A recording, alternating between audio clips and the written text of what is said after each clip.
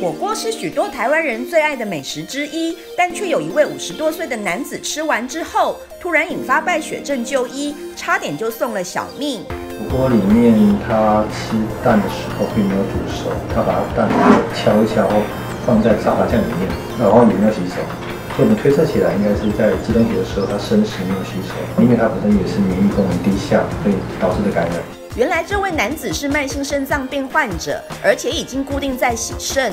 这类患者免疫力本来就很差，而鸡蛋壳如果没有清洗干净，就很容易沾染沙门氏菌，最后才引发败血症。医师提醒，慢性肾脏病患死亡原因第一名是心血管疾病，其次就是感染。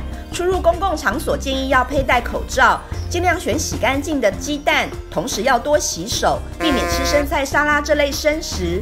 万一不小心感冒，更不要自己买成药来吃，因为慢性肾脏病患的免疫功能已经不正常，成药压抑症状之后，反而可能会影响医师判断病情。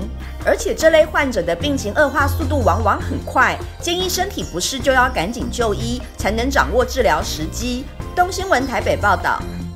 哎，这我吗？你们你们能看得到吗？